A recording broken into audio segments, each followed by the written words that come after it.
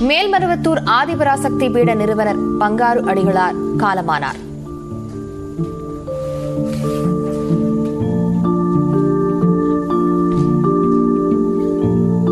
பிரதமர் மோடி மத்திய அமைச்சர் அமித்ஷா ஆளுநர் ஆர் என் ரவி உள்ளிட்டோர் இரங்கல்.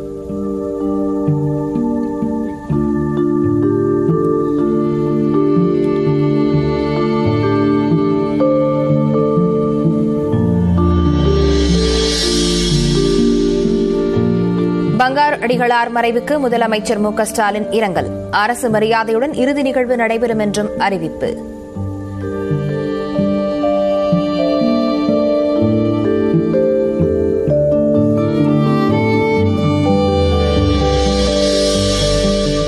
சக்தி பீடத்தின் அருகில் இன்று மாலை ஐந்து முப்பது மணிக்கு பங்காரடிகளாரின் உடல் நல்லடக்கம். காலை ஒன்பது மணி முதல் பொதுமக்கள் பங்காரடிகளார் உடலுக்கு அஞ்சலி செலுத்த அனுமதி.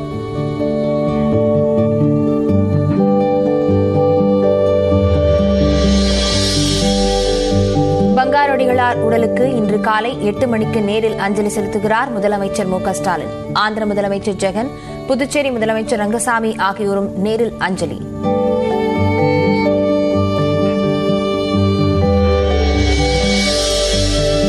பங்காரடிகளார் உடலுக்கு அமைச்சர் செஞ்சி மஸ்தான் புதுச்சேரி ஆளுநர் தமிழிசை நேரில் அஞ்சலி. பாமக நிறுவனர் ராமதாஸ் உள்ளிட்ட தலைவர்களும் அஞ்சலி செலுத்தினர்.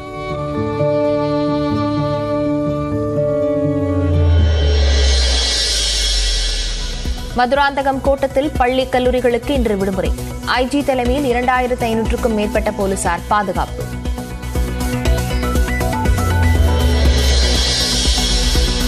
தமிழ்நாட்டில் நேற்றுடன் விடைபெற்றது தென்மேற்கு பருவமழை. வடகிழக்கு பருவமழை வரும் ஞாயிற்றுக்கிழமை தொடங்கும் என வானிலை மையம் அறிவிப்பு.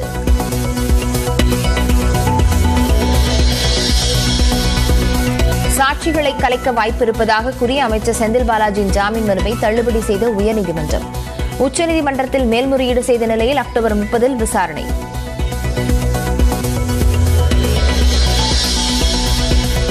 அதிமுக முன்னாள் எம்பி தொடர்ந்த வழக்கில் எடப்பாடி பழனிசாமி பதிலளிக்க உயர்நீதிமன்றம் உத்தரவு. விசாரணை நவம்பர் எட்டாம் தேதி ஒத்திவைப்பு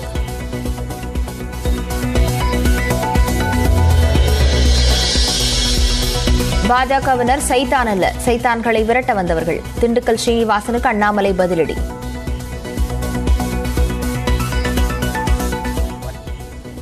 சைத்தானுக்கெல்லாம் பாரதிய ஜனதா கட்சியில் வேலை இல்லை. சைத்தானை எதிர்ப்பதற்காக பாரதிய ஜனதா கட்சி இருக்கு. சைத்தானை எதிர்க்கறனால தான் சில பேருக்கு கோவம். சைத்தானை எதிர்க்கிறோன்னு சில பேர் இந்த மாதிரிலாம் பேசுறாங்க. நாம் தமிழர் கட்சி பதினைந்து சதவீத வாக்குகளை வாங்கினால் பாமக விசிகவுடன் கூட்டணி. எங்கள் அண்ணனை ஒரு பக்கம் கூட்டணி இழுத்து எங்கள் ஐயா ஒரு பக்கம் கூட்டணிக்கு இழுத்து ஒரு வேளை நான் வந்து இன்னும் கொஞ்சம் வளர்ந்து பெரிய ஆளாக வந்து பதினஞ்சு விழுக்காடு இருபது விழுக்காடு வாக்க தொடும்போது இதெல்லாம் நீங்கள் கேட்குறதெல்லாம் சாத்தியப்பட வாய்ப்பு இருக்கு. சீமான் திடீர் அறிவிப்பு.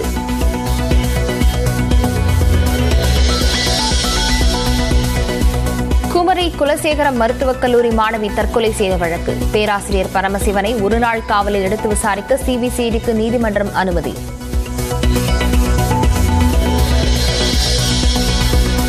ஆயுத பூஜையொட்டி சொந்த ஊர்களுக்கு செல்ல இன்று முதல் சிறப்பு பேருந்துகள் இயக்கம். கோயம்பேடு பூந்தமல்லி தாம்பரத்திலிருந்து இயக்கப்படும் என அறிவிப்பு.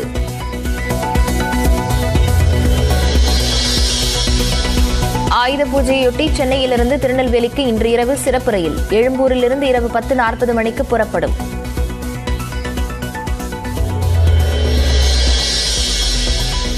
ஆயுத பூஜைக்காக ஊர் செல்லும் மக்களுக்காக சென்னையில் இன்று முதல் இரண்டு நாட்களுக்கு மெட்ரோ ரயில் சேவை நீட்டிப்பு. இரவு எட்டு மணி முதல் பத்து மணி வரை ஆறு நிமிட இடைவெளியில் ரயில்கள் இயக்கப்படும் என அறிவிப்பு.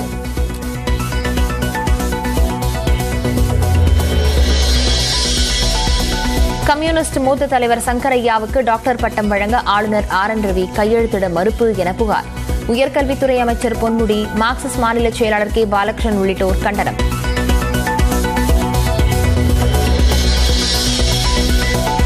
பாலஸ்தீனிய மக்களுக்கு தேவையான மனிதாபிமான உதவிகளை செய்ய இந்தியா தயார். பாலஸ்தீன அதிபரிடம் தொலைபேசியில் உரையாடிய பிரதமர் மோடி உறுதி. இக்கட்டான சூழலில் இஸ்ரேலுக்கு வந்திருப்பது வருத்தம் அளிப்பதாக பிரிட்டன் பிரதமர் ரிஷி சுனக் வேதனை. ஹமாஸ் அமைப்பால் பாலஸ்தீன மக்களும் பாதிக்கப்பட்டிருப்பதாக கருத்து. டெல்லியில் நாட்டு நாட்டு பாடலுக்கு நடனமாடிய பெண்கள்.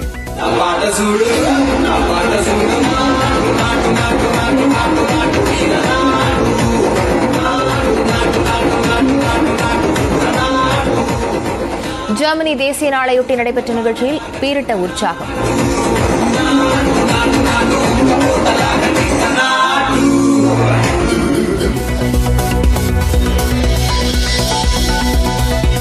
உலகக்கோப்பை கிரிக்கெட் போட்டியில் வங்கதேசத்தை ஏழு விக்கெட் வித்தியாசத்தில் வீழ்த்தியது இந்தியா. சிறப்பாக விளையாடிய விராட் கோலி நாற்பத்தெட்டாவது சதம் விளாசி அசத்தல்.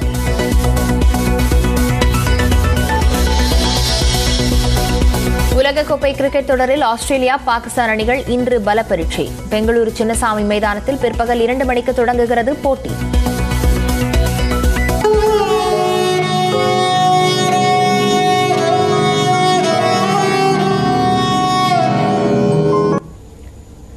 மேல்மருவத்தூர் ஆதிபராசக்தி சித்தர் பீட நிறுவனர் பங்காரடிகளார் உடல்நலக்குறைவால் காலமானார். அவருக்கு வயது எண்பத்தி இரண்டு அடிகளாரின் உடல் இன்று மாலை அரசு மரியாதையுடன் அடக்கம் செய்யப்படுகிறது. செங்கல்பட்டு மாவட்டம் மேல்மருவத்தூரில் உள்ள ஆதிபராசக்தி சித்தர் பீடம் உலக புகழ் பெற்றது. கடந்த ஆயிரத்து தொள்ளாயிரத்து எழுபதாம் ஆண்டில் பங்காரு அடிகளார் இதனை தோற்றுவித்தார். ஆசிரியராக இருந்து பின்னர் அருள்வாக்கு சொல்லி வந்த பங்காரு அடிகளார் பக்தர்களால் அம்மா என அழைக்கப்பட்டார். பதினைந்திற்கும் மேற்பட்ட நாடுகளில் பக்தர்களை கொண்டுள்ள பங்காராடிகளார் பல்வேறு கல்வி நிறுவனங்களையும் நடத்தி வந்தார். கடந்த சில ஆண்டுகளாக உடல்நலக் குறைவால் பாதிக்கப்பட்டு மருத்துவமனையில் சிகிச்சை பெற்று வந்த பங்கார் அடிகளார் எண்பத்தி இரண்டு வயதான நிலையில் அண்மை காலமாக வீட்டில் இருந்தபடியே மருத்துவ சிகிச்சையை தொடர்ந்து வந்தார். இந்நிலையில் எதிர்பாராத விதமாக நேற்று மாலை ஐந்து மணி அளவில் மாரடைப்பால் பங்கார அடிகளார் இவ்வுலகை விட்டு மறைந்தார். பங்கார அடிகளாரின் மறைவு அவரது பக்தர்களை அதிர்ச்சியில் ஆழ்த்தியுள்ளது. தலைவர்கள் பிரபலங்கள் மற்றும் பொதுமக்கள் அஞ்சலிக்காக சித்தர் பீடத்தில் வைக்கப்பட்ட அடிகளாரின் உடலுக்கு அஞ்சலி செலுத்த சாறை சாறையாக பக்தர்கள் படையெடுத்தனர். அடிகளாரின் உடலைக் கண்டு செவ்வாடை பெண் பக்தர்கள் பலர் கதறி அழுதனர்.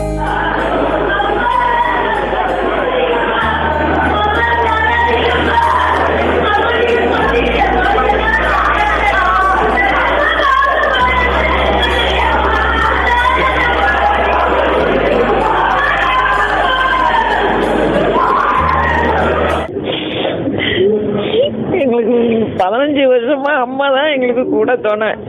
நாங்க அம்மாவோட தான் வாழ்ந்தோம். இன்னைக்கு நாங்க அம்மா இல்லாம எப்படி இருக்குன்னு ஓம் சக்தி அம்மானாவே அந்த அம்மாவோட இந்த அம்மா தான் எங்களுக்கு தெய்வமே. அந்த அம்மாவை நாங்க நேர்ல பார்க்கல. இந்த அம்மாவை நேர்ல பாக்குறோம் இந்த அம்மாவோட நேரில் தான் எங்களுக்கு அருளே. எங்களை வந்து காரை தழுவி கட்டி அணை அரவணைப்பாங்க. இந்த இப்போ யாரை அரவணைக்க போகிறோன்னு தெரியல. ரொம்ப கஷ்டமாகுது இந்த இழப்பு எங்களுக்கு.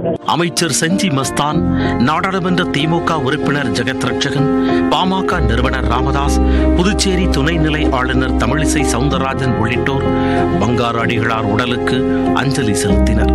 ஆன்மீகத்தில் இனி யாரும் செய்ய முடியாத அளவுக்கு அடிகளார் புரட்சியை ஏற்படுத்தியவர் என பாமக நிறுவனர் ராமதாஸ் உள்ளிட்டோர் புகழாரம் சூட்டினர்.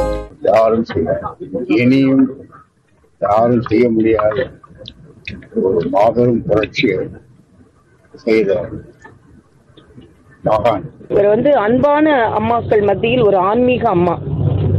ஒரு சாமானியர்களின் சாமி. அவ்வளவுதான் என்னால சொல்ல முடியும். அவர் இன்னைக்கு உடம்புல தான் அவர் உயிர் போயிருக்கே தவிர நிச்சயமா அவர் இந்த பகுதியில மேலோகத்திலிருந்து எல்லாருக்கும் ஆசீர்வாதத்தை கொடுப்பார். பார்க்கின்ற நேரத்தில் எல்லாம் அன்பையும் பாசத்தையும் விழுந்து மனித நேயத்தோடு அவருடைய ஒவ்வொரு சொல்லும் செயலும் மனித நேயத்திற்கு மிக பெரிதாக உதவியது கூட்டத்தை கட்டுப்படுத்தவும் போக்குவரத்து மற்றும் பாதுகாப்பை ஒழுங்குபடுத்தவும் ஏழு மாவட்டங்களைச் சேர்ந்த காவல்துறையினர் சித்தர் வீடம் உள்ள பகுதியில் குவிக்கப்பட்டுள்ளனர்.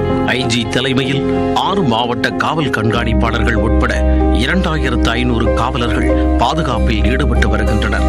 மேலும் பங்காரு உடலுக்கு அஞ்சலி செலுத்த லட்சக்கணக்கானோர் மேல்மருவத்தூரில் குவியக்கூடும் என்பதால் மதுராந்தகம் கோட்டத்திற்கு உட்பட்ட பள்ளி கல்லூரிகளுக்கு இன்று விடுமுறை அறிவிக்கப்பட்டுள்ளது. இதற்கிடையே இன்று மாலை ஐந்து முப்பது மணியளவில் சித்தர் வேடத்தின் அருகிலேயே அடிகளாரின் உடல் நல்லடக்கம் செய்யப்பட உள்ளது.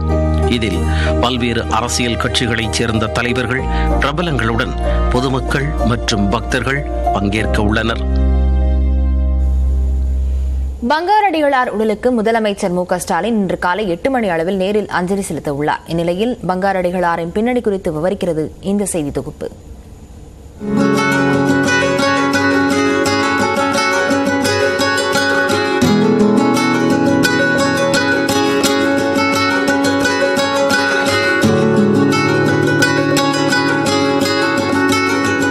பக்தர்களால் அம்மா என்று அன்போடு அழைக்கப்பட்ட ஆன்மீகவாதி உலகில் எந்த இந்து கோவில்களிலும் சாத்தியப்படாததை சர்வ சாதாரணமாய் நிகழ்த்தி காட்டிய ஆன்மீக புரட்சியாளர் பங்காரு அடிகளார். உடல்நலக் குறைவால் உயிரிழந்தார்.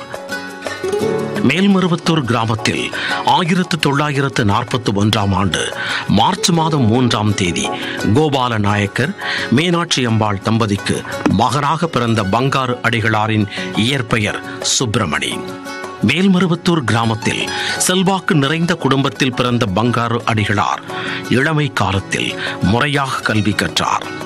அச்சரப்பாக்கத்தில் ஆசிரியராக தனது பணியை தொடங்கிய பங்காரு அடிகளாருக்கு குடும்ப நிகழ்ச்சியில் ஆதிபராசக்தியின் அருள் கிடைத்ததாக கூறப்படுகிறது.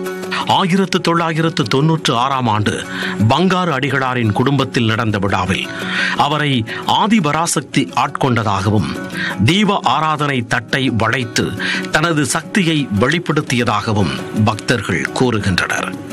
இதனைத் தொடர்ந்து அவரது வீட்டின் பின்புறம் இருந்த வேப்ப மரத்தில் பால் வடிவதாக பரவிய தகவல் ஆயிரக்கணக்கானோரை மேல்மருவத்தூர் நோக்கி வரவழைத்தது. அதே ஆண்டு நவம்பர் மாதம் வீசிய புயலில் வேப்பமரம் வேரோடு முறிந்தது. ஆனால் அதன் அடியில் கல் ஒன்று தென்பட்டதாகவும் அதுவே சுயம்பு என்றும் தகவல் பரவியது. அந்த வேப்பமரம் இருந்த இடத்தில் கூரை கொட்டகையில் சிறிய கோவிலை கட்டினார் பங்காரு அடிகளார். ஆசிரியராக இருந்த பங்காரு அடிகளார் முழுநேர அருள்வாக்கு கூறும் சாமியாராக உருமாறினார். இதே காலகட்டத்தில் லட்சுமி என்ற ஆசிரியரை பங்காரு அடிகளார் திருமணம் செய்து கொண்டார். இவர்களுக்கு அன்பழகன் செந்தில்குமார் ஸ்ரீதேவி உமாதேவி என நான்கு குழந்தைகள் பிறந்தன. மேல்மருவத்தூரில் சிறிய அம்மன் கோவிலில் அமர்ந்து அருள்வாக்கு கூறிய பங்காருவின் புகழ் தமிழ்நாடு முழுவதும் பரவத் தொடங்கியது. ஆண்களை விட பெண்களின் கூட்டம் கோவிலில் அதிகரித்தது. ஆதிபராசக்தியின் மறுவடிவமாக கருதி பங்காரு அடிகளாரை அம்மா என்று பக்தர்கள் அழைத்தாலும் அதற்கு மற்றொரு காரண பெயரும் உண்டு. ஆதிபராசக்தி சித்தர் பீடத்தில் அனைத்து நாட்களிலும் பெண்கள் வழிபடலாம் என்ற முறையை அமல்படுத்தி சமூக புரட்சிக்கு வித்திட்டவர் பங்காரு அடிகளார். கோயில் கருவறைக்குள் ஆண்கள் மட்டுமே சென்று வந்த நிலையில் பெண்களும் செல்லலாம் என்ற புரட்சியை செய்தார். பெரும்பாலும் கோவில்களுக்கு ஆண்களே மாலை அணிந்து சென்ற நிலையில் மேல்மருவத்தூர் கோவிலுக்கு செவ்வாடையில் பெண்கள் மாலை அணிந்து சென்றனர். கோயில் கருவறையில் உள்ள சுயம்புவுக்கு பெண்கள் அபிஷேகம் செய்ய அனுமதிக்கப்பட்டனர். இந்த ஆன்மீக புரட்சியின் உச்சமாக மாதவிடாய் காலத்திலும் ஆதிபராசக்தி கோவில்களில் பெண்கள் கருவறைக்குள் அனுமதிக்கப்பட்டனர்.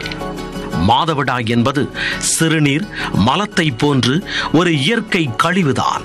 அது பாவம் இல்லை என்ற முற்போக்கு சிந்தனையை வெளிப்படுத்தினார் ஆன்மீகவாதி பங்காரு அடிகளார். சமத்துவம் மட்டுமின்றி மத நல்லிணக்கத்தையும் வெளிப்படுத்தியவர் பங்காரு அடிகளார். கடந்த இரண்டாயிரத்து பதினெட்டாம் ஆண்டு கிறிஸ்துமஸை ஒட்டி மேரி மாதாவை போன்று அம்மன் சிலைக்கு அலங்காரம் செய்யப்பட்டது. சாதி மதம் பாலினத்தை கடந்து சமத்துவத்தை நோக்கி செயல்பட்ட பங்காரு அடிகளார். அரசியல் கட்சி தலைவர்களிடமும் இணக்கமான அணுகுமுறையை கையாண்டார். ஆசிரியராக இருந்து ஆன்மீக பணிக்கு வந்தவர் கல்வி சேவையையும் கைவிடவில்லை. ஆதிபராசக்தி கல்வி அறக்கட்டளை மூலம் மருத்துவம் பொறியியல் என பல்வேறு கல்வி நிலையங்கள் செயல்பட்டு வருகின்றன. இவரின் கல்வி மற்றும் ஆன்மீக சேவையை பாராட்டி கடந்த இரண்டாயிரத்து பத்தொன்பதாம் ஆண்டு மத்திய அரசு பத்மஸ்ரீ விருது வழங்கி கௌரவப்படுத்தியது. பல்வேறு அரசியல் கட்சி தலைவர்களுடன் பங்காரு அடிகளார் தொடர்பில் இருந்தாலும் தனது அரசியல் நிலைப்பாட்டை அவர் வெளிப்படுத்தியதில்லை. கோவிலின் அருகே கடந்த இரண்டு ஆண்டுகளுக்கு முன்பே தனக்கான சமாதியையும் பங்காரு கட்டி வைத்துள்ளார். அந்த இடத்தில்தான் அவரின் உடல் அடக்கம் செய்யப்படுகிறது. ஆன்மீகத்தில் பங்காரு அடிகளார் நிகழ்த்திய கடவுள் வழிபாட்டு புரட்சி காலத்திற்கும் அவரை நினைவில் நிறுத்தும் என்பதில் துளியும் சந்தேகமில்லை.